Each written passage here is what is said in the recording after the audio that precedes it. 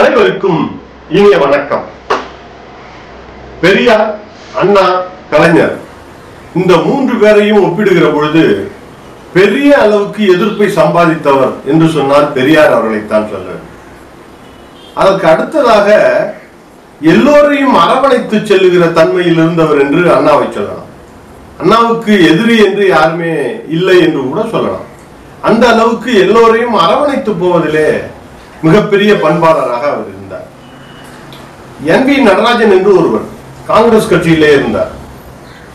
அவர் அண்ணா சென்னை மாநகராட்சிக்கு போட்டியிடுகிற போது அண்ணாவை எதிர்த்து ஒரு மேடையில பேசுகிற போது சொன்னார் நான் அண்ணாதுரையினுடைய மஞ்சாசுரை எடுத்துருவேன் என்று சொன்னார். மஞ்சாசுரம்னா என்னன்னே தெரியல. ஆனா இதை போய் அண்ணாவிடம் சொன்ன போது கூட அண்ணா அதற்காக ஒன்றும் வருத்தப்படவில்லை. ஆனால் அதே என் வி நடராஜன் மிகப்பெரிய அளவுக்கு இந்திய எதிர்ப்பு போராட்டத்திலே இந்தியை எதிர்த்த போது அவரை அண்ணா அவர்கள் அழைத்து ஒரு கூட்டத்தை ஏற்பாடு செய்தார். அதற்கு பிறகு அவர் அண்ணாவினுடைய தம்பியாகவே மாறி போனார் என்பது வரலாறு. இப்படி எதிரிகளையும் கூட அரவணைத்து போவதிலே அண்ணா மிகப்பெரிய வெற்றியாளராக திகழ்ந்தார். அண்ணாவுக்கு சர்வதேச அளவிலே பல தலைவர்களை தெரியும். இந்திய அளவில் அவருடைய உரையை கேட்பதற்கு பல பெரிய தலைவர்கள் நேரு வாஜ்பாய் இந்த அளவில் எல்லாம் இருந்தார்கள். ஆனால் என்றாலும் கூட அவர் ஏற்றுக்கொண்டதும் அவர் மனதார ஒப்புக்கொண்ட ஒரே தலைவர் யார் என்றால் பெரியார் தான். பெரியாருக்கும் அண்ணாவுக்கும் ஒரு மாபெரும் நெருக்கம் உண்டு. அவர்கள் இருவரும் எதிரெதிர் துருவங்களில் நின்ற போது கூட அண்ணா பெரியாரை எந்த ஒரு சொல்லும் சொல்லி அவரை குறை சொன்னதில்லை. ஏனென்றால் பெரியார் எதை செய்தாலும் அதற்குள்ளே ஒரு பொருள் இருக்கும் என்பதை ஆழமாக உணர்ந்திருந்தார் அண்ணா. அண்ணா தன்னுடைய பொது வாழ்க்கையில் அடியெடுத்து வைக்கிற போது தன்னுடைய ஆசானாக ஏற்றுக்கொண்டவர் பெரியார். அவருடைய அலுவலகத்திலே போய் பணி செய்கிறார். நல்ல நிலையில் அவர்களுக்கான உறவு அங்கே இருந்தது. பத்திரிகையிலே தான் சொல்லுகிற எல்லா சீர்திருத்தங்களையும் பெரியார் ஏற்றுக்கொண்டார்.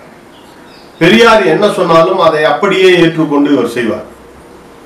அவருக்கு மாத ஊதியம் அறுபது ரூபாய். ஒரு முறை ஜிடி நாயுடு வந்து பார்க்கிறார். ஜிடி நாயுடு சொல்லுகிறார் நீ வெறும் அறுபது ரூபாய்க்கா வேலை செய்கிறாய். நீ கோயம்புத்தூர் வந்துவிடு உனக்கு வேண்டியதெல்லாம் ஏற்பாடு செய்து தருகிறேன் என்று சொன்னார். அண்ணா சொன்னார் நான் பெரியாரிடம் பணியாற்றுவது பணத்துக்காக அல்ல சம்பளம் ஒரு பெரிய பொருட்டு அல்ல இன்னும் சொல்ல போனால் அறுபது ரூபாய் சம்பளம் வாங்குகிற போது கூட அதிலே ஒரு குறிப்பிட்ட தொகையை வாடகையாக கொடுத்து விடுவார் அண்ணா. ஆனால் அப்படி இருந்த போதும் கூட பெரியாரை அவர் முழுமையாக ஏற்றுக்கொண்டதற்கு காரணம் மாலை நேரங்களில் பெரியார் அங்கே வேலை பார்க்கிற எல்லோரையும் கூட்டி வைத்து பல விஷயங்களை பேசுவார். யாரேனும் ஏதேனும் எதிர்கருத்தோ எதிர்கருத்தோ அல்லது அவரோடு வாதிக்கிற நிலையில் பேசினால் கூட அதை அப்படியே உள்வாங்கிக் கொள்வார். இதுவெல்லாம் பெரியார் தன்னுடைய அறிவை தீட்டிய விதத்தை அண்ணா உணர்ந்தார்.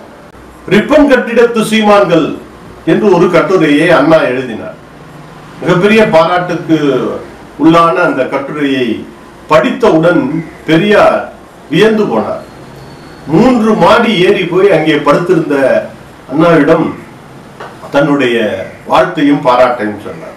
அண்ணா சொன்னார் ஐயா நீங்கள் சொல்லியிருந்தால் நானே கீழே இறங்கி வந்திருப்பேனே என்று சொல்கிறார். இல்லை இல்லை நீ செய்த செயலுக்கு நான் தான் வந்து பாராட்ட வேண்டும். இன்னொன்று எப்பொழுது பாராட்ட வேண்டும் என்று தோன்றுகிறதோ அப்பொழுதே அதை செய்துவிட வேண்டும். எனவேதான் நான் மூன்று மாடி ஏறி வந்தேன் என்று இங்கே பாராட்டி விட்டு போனார். எனவேதான் அண்ணா எந்த நிலையிலும் பெரியாரை விட்டு கொடுக்கவே இல்லை. கண்ணீர் துளிகள் என்று சாடிய போது கூட அதற்கு பதில் பேச வேண்டாம் என்று தன்னுடைய தம்பிகளை அடக்கி வைத்திருந்தார் அண்ணா. பெரியாருக்கு கலை மீது பெரிய ஈடுபாடு கிடையாது. குறிப்பாக நாடகம் சினிமா இதெல்லாம் ஒரு பெரிய அளவுக்கு அவர் பொருட்படுத்த மாட்டார். ஆனால் அண்ணா கலையை பெரிய அளவுக்கு தன்னுடைய கொள்கையை எடுத்து போவதற்கு பயன்படுத்த முடியும் என்று நம்பினார் பயன்படுத்தினார். அவருடைய சிவாஜி கண்ட இந்து ராஜ்யம் அப்படி என்கிற நாடகம் பெரிய அளவுக்கு புகழ் பெற்றது ஒரு நாள் அதை அண்ணா பெரியாரை அழைத்து கொண்டு போய் பார்ப்பதற்கு ஏற்பாடு செய்தார்.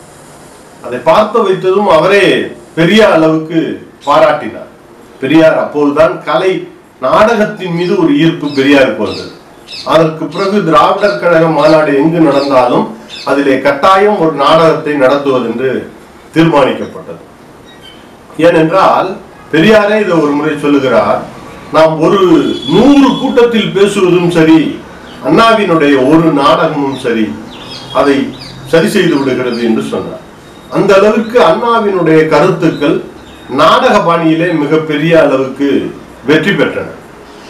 என்றாலும் பெரியாரினுடைய அடிதொற்றியே தன்னுடைய பயணத்தை அவர் தொடங்கினார்.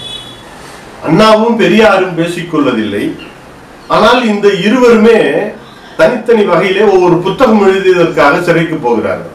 ஆயிரத்தி தொள்ளாயிரத்தி ஐம்பது ஐம்பத்தொன்று.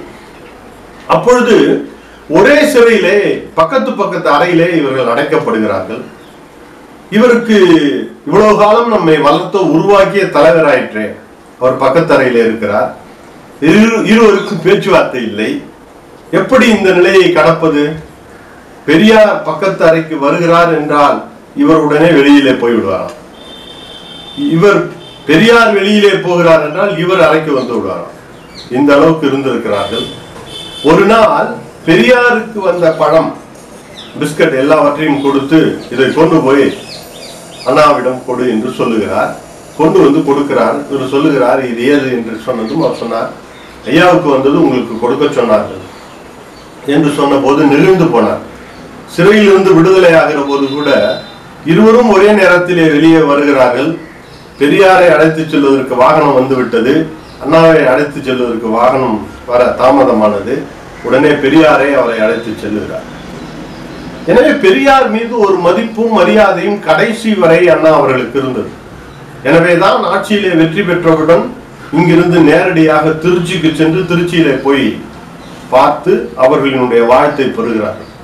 பிறகு எல்லோருடைய ராஜாஜி வீட்டுக்கு போகிறார்கள் பக்தோச்சலம் வீட்டுக்கு போகிறார்கள் காமராஜர் வீட்டுக்கு போயெல்லாம் வாழ்த்துக்களை வாங்குகிறார்கள் என்றாலும் கூட முதலில் அவர் தான் ஏற்றுக்கொண்ட தலைவனாக கருதுகிறார். பெரியாரிடம் போய் வாழ்த்தை பெறுகிறார். அதற்கு முதல் நாள் வரை விடுதலை இதழிலே கண்ணீர் துளிகள் கண்ணீர் துளிகள் என்று எழுதினார். அப்பொழுது ஆசிரியர் வீரமணி அவர்கள் விடுதலையினுடைய ஆசிரியராக இருக்கிறார். அவர் கேட்கிறார் இன்றைக்கு தலையங்கம் என்ன போடுவது? என்று கேட்டபோது ஏன் தாராளமாக போடுங்கள். அமைச்சர்களாக பதவியேற்றுக் கொண்ட எல்லோரும் தமிழிலே பதவியேற்றுக் கொண்டார்கள் அதிலே ஒருவர் கூட உயர் ஜாதியை சார்ந்தவர் அல்ல. இதுவெல்லாம் நம்முடைய கொள்கைக்கான வெற்றிகள். இதையெல்லாம் குறிப்பிட்டு திராவிட முன்னேற்ற கழகம் என்றே எழுதுங்கள் என்று பெரியார் சொன்னார். பெரியார் தனக்கு சரி என்று பட்டதை எந்த நிலையிலும் விட்டுக் கொடுக்காமல் அதனை அப்படியே வெளிப்படுத்தக்கூடிய தன்மை கொண்டார் அண்ணாவுக்கும் பெரியாருக்குமான உறவு ஆழமானது அழுத்தமானது. எந்த அளவுக்கு என்றால் ஒரு முறை அண்ணா புதுக்கோட்டையிலிருந்து காரைக்குடிக்கு காரிலே போகிறார். எதிர் திசையில் காரைக்குடியிலிருந்து புதுக்கோட்டைக்கு வருகிறார் பெரியார். இந்த இருவரும் ஒரு இடத்தில் வந்து ஒரு ரயில்வே கேட்டிலே இருவரினுடைய வாகனமும் நிற்கிறது. இந்த பக்கம் அண்ணாவினுடைய வாகனம் அந்த பக்கம் ஐயாவினுடைய வாகனம்.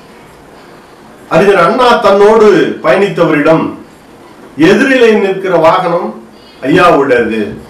எனவே ஐயாவிடம் சென்று இந்த பழங்களை கொடுத்து விட்டு வாருங்கள் என்று ஒரு பையிலே கொடுக்கிறார். அவர் போகிறார். போய் கொடுத்து விட்டு வருகிறார். அப்பொழுது திரும்ப வந்ததும் கேட்டார் அண்ணாவிடம் அண்ணா நீங்களே சென்று அந்த பழத்தை கொடுத்திருக்க கூடாதா? என்று கேட்டார். அதுக்கு அண்ணா சொன்னாராம் நான் போய் கொடுக்கலாம். அதில் ரெண்டு சிக்கல். ஒன்று நான் போய் கொடுத்து விட்டு திரும்ப வருவேன் என்பதற்கு உத்தரவாதம் இல்லை ஐயா காரிலே போவதற்கு கூட எனக்கு வாய்ப்பு இருக்கிறது. அவர் வா என்று கூப்பிட்டால் என்னால் மறுக்க முடியாது. ஒன்று ரெண்டாவது இன்றைக்கு நான் ஒரு இயக்கத்தினுடைய பொதுச் செயலாளர். இயக்கத்தினுடைய கொள்கை கோட்பாடுகளுக்கும் அவர்கள் காட்டுகிற வழிமுறைகளையும் நான் மீறிவிடக் கூடாது. எனவேதான் நான் ஐயாவை நேரில் சென்று பார்க்க முடியாத சூழலில் இருக்கிறேன் என்று இருவரும் அதற்கு பிறகு கடந்து போனதாக சொல்லப்படுகிறது. எனவேதான் அண்ணா மறைந்த போது கூட பெரியார் சொன்னார் அண்ணாவினுடைய மறைவு தமிழ்நாட்டுக்கு மாபெரும் நஷ்டம் என்று பேசினார். அப்படி ஒரு உறவு அண்ணாவுக்கும் ஐயாவுக்கும் இருந்த உறவு இருக்கிறதே அது ஒரு நல்ல ஆசிரியனுக்கும் மாணவனுக்குமான உறவு நல்ல நண்பர்களுக்கான உறவு நல்ல சீடனுக்கும் குருவுக்குமான உறவு நல்ல தலைவனுக்கும் தொண்டனுக்குமான உறவு. அப்படிப்பட்ட உறவிலேதான் கடைசி வரை பெரியாரும் அண்ணாவும் திகழ்ந்தார்கள். ஒரு நல்ல தொண்டனாக இருப்பதற்கும் நல்ல ஆசிரியனாக இருப்பதற்கும் இவர்களை நாம் எடுத்துக்காட்டாய் கொள்ளலாம். தமிழால் இணைவோம் தமிழால் உயர்வோம் நன்றி வணக்கம்.